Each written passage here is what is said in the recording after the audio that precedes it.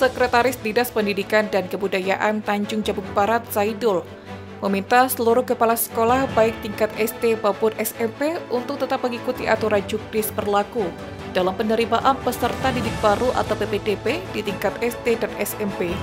Ia menegaskan jika ada yang melanggar ketentuan juknis berlaku, serta ditemukan kepala sekolah bermain bata atau menerima siswa titipan, tentunya akan ada sanksi tegas yang berlaku baiklah eh, PPDB memang dimulai pada tanggal 1 dan berakhir tanggal 6 dan jumlah yang melaksanakan PPDB itu ada 289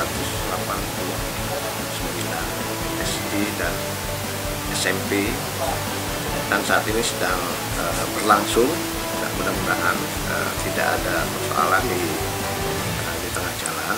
Dan lancar dan kami harapkan kepada para sekolah para kepala sekolah untuk mentaati apa yang telah kita sepakati yaitu juknis terkait dengan PPDB.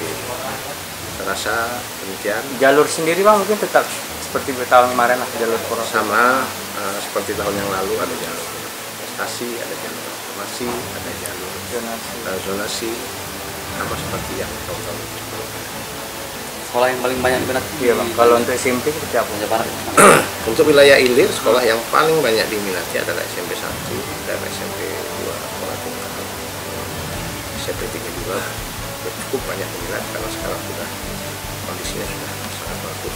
Kalau SD sendiri bang kalau ini jauh ini merata seperti apa kalau kalau SD ini favorit memang SD 18 dengan SD 5 tetapi untuk wilayah-wilayah yang di tengah kota. Pinggiran pun tidak hampir semuanya merata. Lebih lanjut, Zainul menambahkan, di Tanjung Barat sendiri terdapat 289 sekolah tingkat SMP yang akan melaksanakan PPDB. Dan diharapkan para orang tua untuk memanfaatkan momen PPDB tersebut. Sebab transparansi diutamakan dalam penerimaan peserta didik baru tahun ajaran 2024-2025. Surya Kurniawan, Cik TV, melaporkan.